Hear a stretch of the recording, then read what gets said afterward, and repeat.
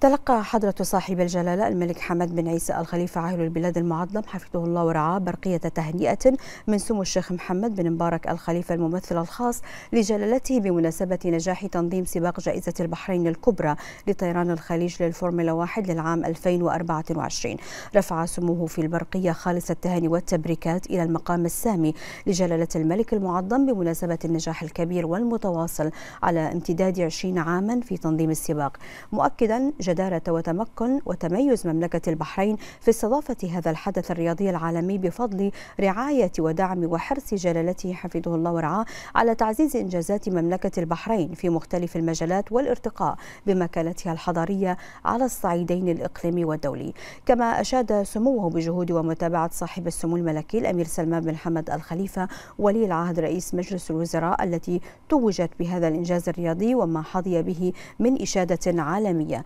داعيا المولى العلي القدير أن يديم على جلالة عاهل البلاد المعظم موفور الصحة والعافية والعمر المديد ويسدد على طريق الخير خطى لما فيه المزيد من التقدم والنماء لمملكة البحرين.